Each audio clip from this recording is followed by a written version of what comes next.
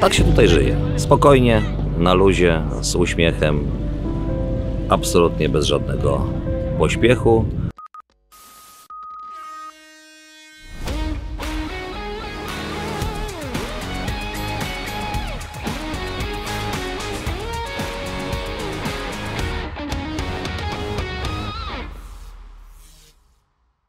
Moi drodzy, jak to rok do roku e, bywa, Mateusz Borek na miesiące zimowe ucieka do słonecznej Tajlandii.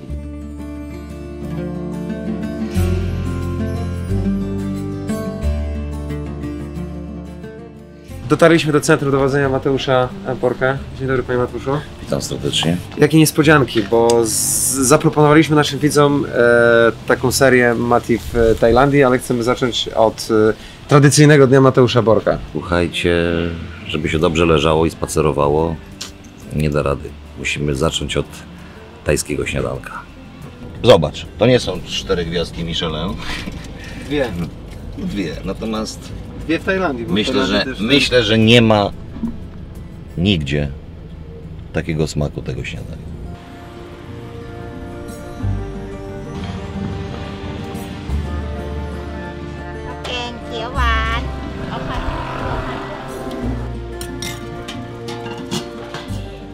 Bierzesz sobie kubeczek, o, nabierasz sobie, nabierasz sobie tutaj lodu do tego kubka, tak? Ja tam akurat lodu za dużo nie lubię. W cenie dania masz wodę, więc sobie do tego metalowego kubeczka z lodem nalewasz wody i czekamy. Zobaczymy jak wygląda ta kuchnia Mateusza Borka od drugiej strony. Creeps, restauracja.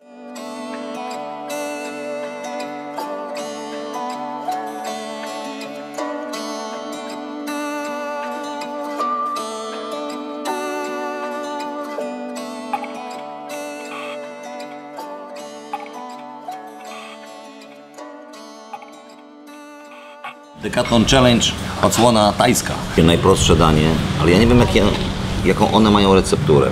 To jest tak, kurczak, troszkę tutaj warzywa, papryczki, jajko sadzone i ryż. I to mieszamy, to jest tak dobre, że to jest S-Z-O-K.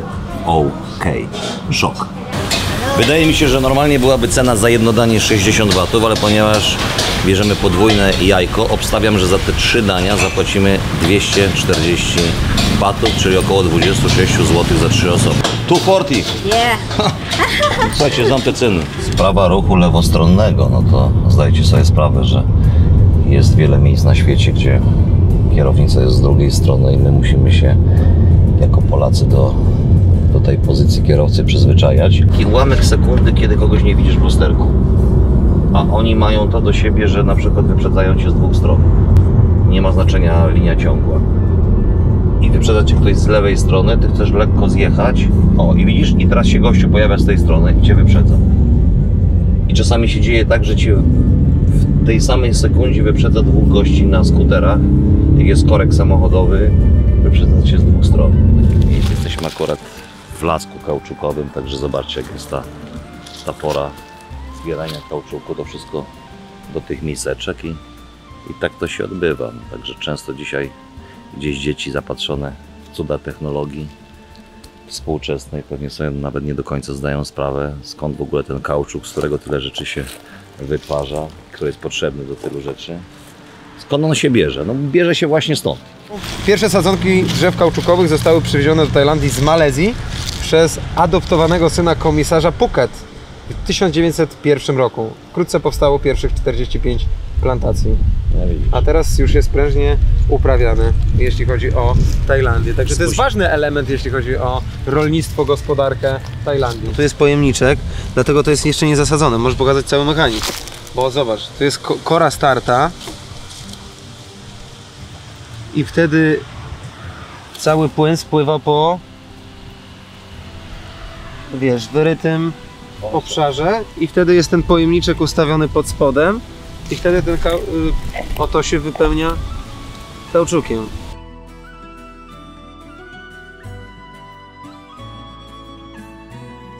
Ładny widoczek na Nighton Beach, tutaj się roztacza. A za chwilę Wam pokażemy tę jedną z, myślę, piękniejszych plaż na wyspie.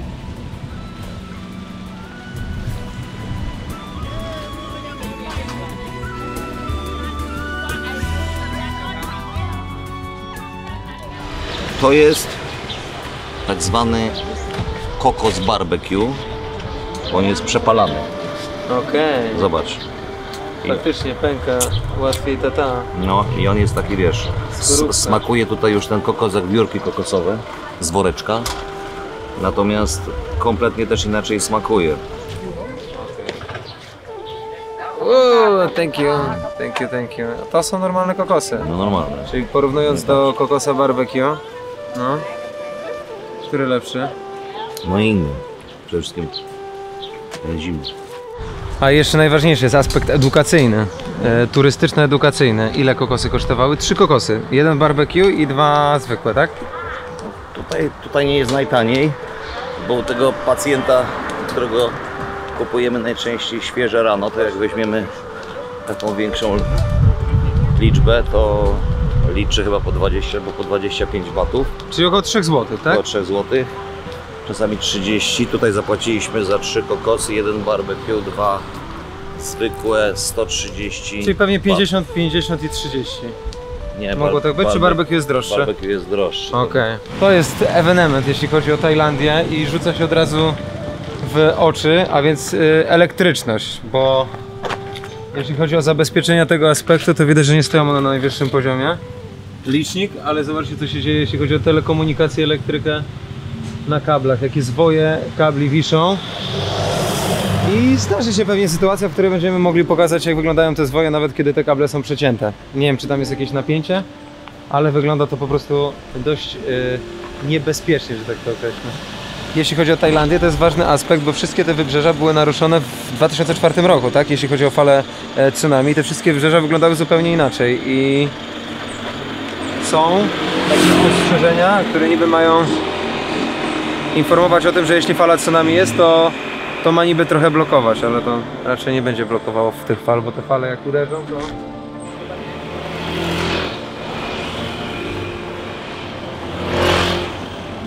A to jeśli chodzi o Instagrama, Proszę Państwa, i to jest miejsce, do którego przyjeżdżają nie tylko influencerzy, nie tylko influencerki, ale też praktycznie turyści z całego Phuketu, niezależnie po której stronie wyspy są, niezależnie gdzie stacjonują.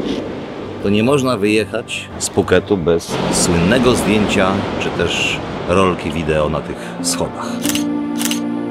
Przybyliśmy na Nighton Beach. To jest e, w moim przekonaniu jedna z najpiękniejszych e, plaż, ale kolor wody zachwycający, fale, e, w ogóle piękno krajobrazu. Ta plaża bywa głębsza, bywa płytsza, bywa dłuższa, bywa krótsza w zależności od pory roku. Na przykład latem, polskim latem, to tutaj nie ma, nie ma czego robić. W zasadzie ta woda jest przy samej ulicy, wszędzie tylko są wetknięte czerwone flagi z zakazem kąpieli, ale w tej chwili jest high season i, i prezentuje się ta plaża naprawdę fenomenalnie, także zapraszam serdecznie Nighton Beach, kto, kto nie był, kto tej plaży nie doświadczył, po prostu musi tutaj wpaść.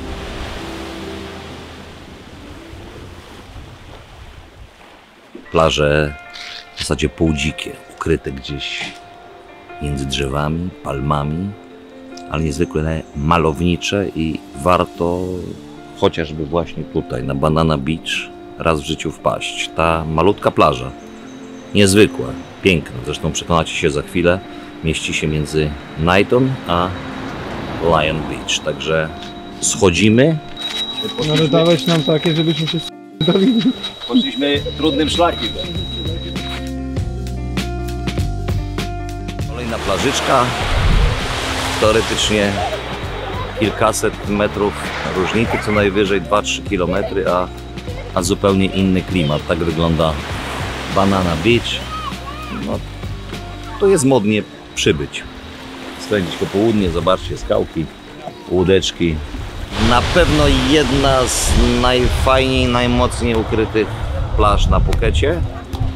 Natomiast pamiętam kilka lat temu, w zasadzie tutaj przychodziliśmy 5 osób, 10 maksimum, żadnej infrastruktury, e, żadnych, żadnej szansy zjedzenia posiłku, napicia się czegoś. E, Toalet brak, natomiast no, w tej chwili gdzieś bardzo szybko pocztą pantoflową ta informacja się rozeszła, że to jest takie klimatyczne, fajne miejsce. I troszeczkę w moim przekonaniu straciła ta plaża taką sferę dzikości.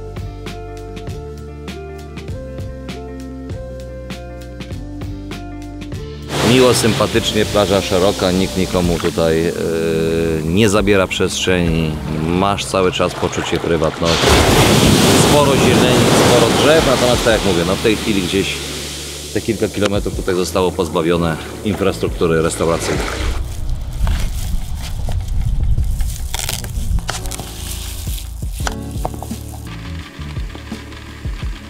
Jesteśmy na Nayang Beach e, u Betty. Tutaj po prostu Betty, nasza kumpela od lat, daje, jak to mówi klasyk, dobre papu. This is Betty. Tak, Betty? To jest największy problem nawet super restauracji tajskich w Polsce, że bardzo ciężko o to, żeby zjeść tak dobry keł albo morning glory.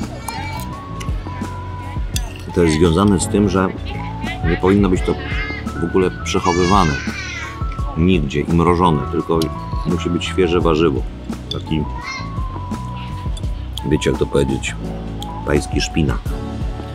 Polecam serdecznie, także pamiętajcie, albo Morning Glory, albo tak jak ja tutaj na ostro Spicy Curry. I tak słuchajcie, kończy się ten nasz dzień, w którym odwiedziliśmy kilka plaż. Szykuje nam się kolejny przepiękny zachód słońca na Nayang Beach. To naprawdę wygląda imponująco, także taki to jest świat. Tutaj budzimy się z przyrodą i kiedy przyroda powolutku układa się do snu, to my również staramy się czynić to samo, bo ten zegar biologiczny tyka. Tak się tutaj żyje. Spokojnie, na luzie, z uśmiechem, absolutnie bez żadnego pośpiechu, czego i ja Wam w tym u Was troszeczkę innym e, klimacie serdecznie z całego serca życzę. Pozdrawiam serdecznie, cześć.